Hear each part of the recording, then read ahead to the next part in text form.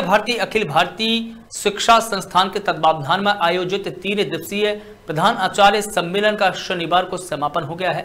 सरस्वती शिशु मंदिर गोपेश्वर में आयोजित संभाग स्तरीय प्रधान आचार्य सम्मेलन विद्यालय विकास की कई योजनाओं पर चर्चा की गई है। साथ ही विद्या भारती की आगामी साल 2025 तक की कार्य योजना रखी गई है। साथ ही संस्कृति बोध परियोजना और शोध पर प्रधान आचार्य के बीच स्तर पर चर्चा की गई है। वहीं छात्रों के संस्कार पर, शैक्षिक पक्ष और विद्यालय को सामाजिक चेतना का केंद्र बनाए जाने पर भी ज़ोर दिया गया है।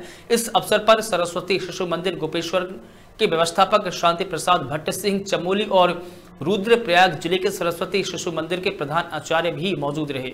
चमोली से संदीप कुमार की रिपोर्ट।